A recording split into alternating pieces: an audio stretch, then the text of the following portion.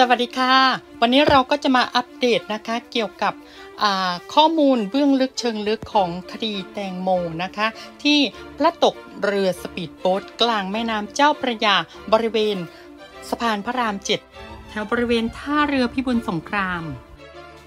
โดยวันนี้แม่แตงโมนะคะก็ได้มอบหลักฐานสำคัญให้กับตำรวจนะคะชี้ลูกสาวถูกทำร้ายทั้งร่างกายและจิตใจบนเรือ 27 กุมภาพันธ์ 2565 ที่สพ เมืองนนทบุรีนะคะนางพนิดา สิริยุทธโยธิน มารดาของแตงโมนิดาพัชระวีรพงศ์ดาราสาว เดินทางเข้าพบเจ้าหน้าที่ตำรวจพร้อมนำหลักฐาน ส่วนตัวมามอบให้เพื่อคลี่คลายคดีการเสียชีวิตของลูกสาว ซึ่งเป็นหลักฐานชิ้นใหม่พร้อมกับพูดคุยกับเจ้าหน้าที่ที่กระทรวงยุติธรรมด้วยนะคะ ซึ่งต่อมานะคะก็ได้มีการรีทวิตนะคะหรือว่าการโพสต์ ต่างๆของบรรดาผู้สื่อข่าวนะคะ ผู้สื่อข่าวบอกว่า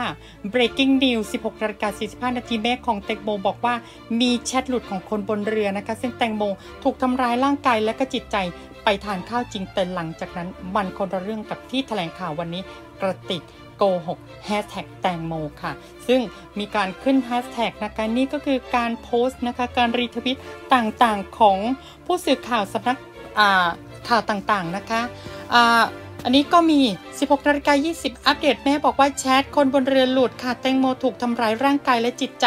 ไปทานข้าวจริง แต่หลังจากนั้นมันก็ระเรื่องกับที่แถลงวันนี้กระติกโกหกแฮชแท็กแตงโมค่ะนะคะ วันนี้สฟลาก็ขอขึ้นแฮชแท็กแตงโมไม่ตายฟรีด้วยนะคะ เพราะว่าพี่รถก็เยอะมากพอสมควรนะคะยังไงซะ ก็ต้องรอดูค่ะนะคะว่าเจ้าหน้าที่แล้วก็